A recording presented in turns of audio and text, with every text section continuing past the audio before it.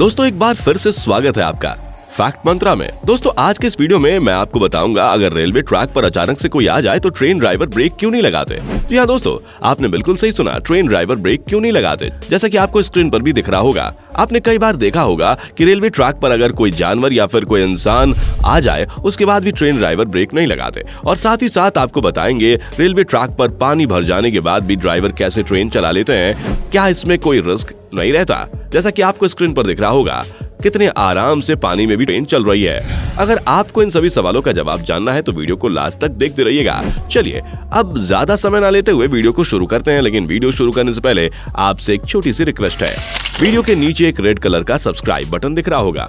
उस पर क्लिक करके सब्सक्राइब कर ले और साइड में बेल आइकन दिख रहा होगा। उस पर भी क्लिक कर ले ताकि आपको वीडियो मिल सके सबसे पहले। चलिए, सबसे पहले बात करते हैं रेलवे ट्रैक पर। किसी को देखने के बाद भी ट्रेन ड्राइवर ब्रेक क्यों नहीं लगाता? जब हम रेलवे क्रॉसिंग पर होते हैं तो सामने दो बैरियर लगे होते हैं, और जब ट्रेन आती है तो उस समय ट्रेन के फाटक बंद हो जाते हैं। जिससे कि कोई भी उस समय रेलवे लाइन पर ना जाए। लेकिन कुछ समझदार लोग उस समय उस फाटक को क्रॉस करके रेलवे लाइन को पार करते हैं, जिससे कभी कभार दुर्घटनाएँ भी हो जाती हैं। लेकिन क्या आपने कभी ये सोचा है कि जब ट्रेन चल रही हो और सामने से कोई जा रहा हो, तब भी ट्रेन उसको देखने के बाद भी क्यों नहीं रुकती? ऐसा इसलिए होता है क्योंकि अगर ट्रेन के सामने कोई चीज़ आती है तो ट्रेन को रोकने के लिए लोको पायलट को इमरजेंसी ब्रेक अप्लाई करनी पड़ेगी। और कोई ट्रेन 20 से 25 कोच वाली ट्रेन है और वो 100 किलोमीटर प्रति घंटे की स्पीड से जा रही है तो इमरजेंसी ब्रेक अप्लाई करने की कम से कम दूरी 850 मीटर होनी चाहिए। और अगर कोई सामान ले जाने वाली गाड़ी पूरी तरह से लोड हो और वो 80 किलोमीटर प्रति घंटे की स्पीड से चल रही है तो उसे इमरजेंसी ब्रेक अप्लाई करने के लिए मिनिमम डिस्टेंस एक किलोमीटर होना चाहिए। इतनी अधिक दूरी से सामने की चीज़ को देख पाना मुश्किल है। और अगर ट्रेन की रेलवे लाइन दो डिग्री के कर्व से मुड़ी हुई हो तो 500 मीटर की दूरी से देख पाना मुश्किल है। इसलिए लोको पायलट सामने की चीज़ को जब देखता है तो वो बहुत ही कम दूरी पर होती है और इस वजह से लोको पायलट ट्रैक पर किसी भी चीज़ को देखने के बाद भी ट्रेन को नहीं रोकते। उनके लिए लोकोमेटिव में लगा हॉर्न ही एकमात्र उम्मीद होती है, जिससे बजाकर वो लोगों को इन्फॉर्म कर देते हैं। चलिए दोस्तों, अब बात कर लेते हैं रेलवे ट्रैक पर पानी भर जाने के बाद भी ड्राइवर कैसे ट्रेन चला लेते हैं। मुंबई, कोलकाता, चेन्नई और दिल्ली में इस तरह की परिस्थितियाँ हर बारिश में आती हैं। दूसरी जगह भी आ सकती हैं।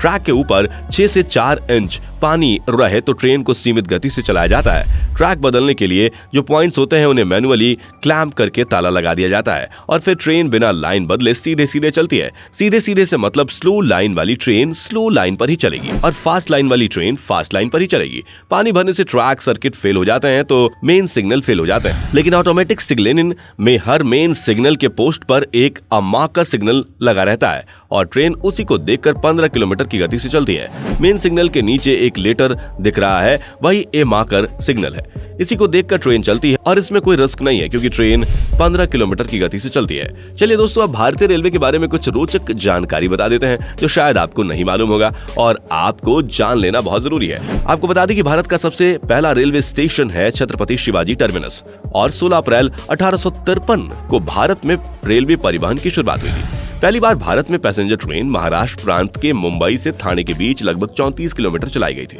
ये सफ़र तय करने में लगभग 45 मिनट का वक्त लगा था। इसमें 14 डब्बे और 400 सवारियाँ बैठी थी। यह British governor general Lord Dalhousie के कार्यकाल में चलाई गई थी। इस दिन इसलिए भारतीय रेलवे परिवहन दिवस मनाया जाता है। और साथ ही साथ आपको बता दें कि भारतीय रेलवे एशिया का सबसे बड़ा रेल सिस्टम है। साथ ही संयुक्त राज्य अमेरिका, चीन, रूस के बाद भारतीय रेलवे दुनिया का चौथा सबसे बड़ा रेल नेटवर्क है। और दोस्तों, क्या आपको मालूम है कि रेलवे रोज ग्यारह हज़ार ट्रेनों का काम संभालता है? देश में रोज़ाना ढाई करोड़ लोग एक जगह से दूसरी जगह जाते हैं। ये कई देशों की जनसंख्या से भी ज़्यादा है और भारतीय रेलवे दुनिया का सबसे ऊँचा रेलवे पुल बनाने की तैयारी में है। जम्मू कश्मीर में चेनाब नदी के ऊपर ये पुल बनाया जाएगा, जो एफिल टावर से भी ऊँचा होगा। और क्या आपको मालूम है, भारतीय ट्रेन एक दिन में कुल कितनी दूरी तय करती है? वो दूरी धरती से चाँद तक की दूरी से लगभग आठ गुना ज़्यादा है। और आपको बता दें, पहले ट्रेन में टॉयलेट नहीं हुआ करते थे। वर्ष 1909 में पैसेंजर ट्रेन में यात्रा कर रहे अखिल चंद्र सेन नामक एक यात्री ने अपने निजी अनुभव के तौर पर इस समस्या से जुड़े एक खत रेलवे को लिखा, जिसके आधार पर ब्रिटिश सरकार ने भारतीय ट्रेन में टॉयलेट बनाना शुरू कर दिया।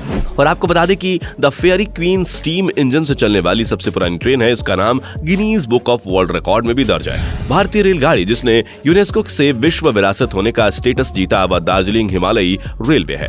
वैसे भारतीय रेल के बारे में आपका क्या कहना है? हमें कॉमेंट करके ज़रूर बताइए। और ऐसी ही इंटरेस्टिंग वीडियो देखने के लिए चैनल को सब्सक्राइब ज़रूर कर लें। हम फिर मिलेंगे एक नए वीडियो के साथ। तब तक के लिए जय हिंद, जय भारत। दोस्तों, आपको स्क्रीन पर दो और वीडियोस दिखाई दे रही हैं, जिसे देखने के लिए स्क्रीन पर क्लिक करें।